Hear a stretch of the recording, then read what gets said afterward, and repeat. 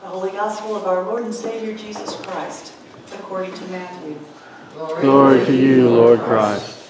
At that time Jesus said, I praise you, Father, Lord of heaven and earth, because you have hidden these things from the wise and learned and revealed them to little children. Yes, Father, for this was your good pleasure. All things have been committed to me by my Father. No one knows the Son except the Father, and no one knows the Father except the Son, and those to whom the Son chooses to reveal him. Come to me, all you who are weary and burdened, and I will give you rest.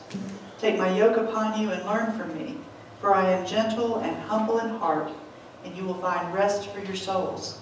For my yoke is easy, and my burden is light. The Gospel of the Lord. Praise to you, Lord Christ.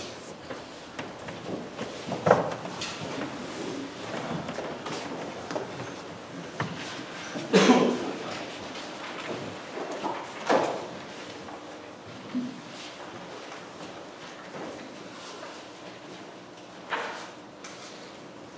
of the Father, and of the Son,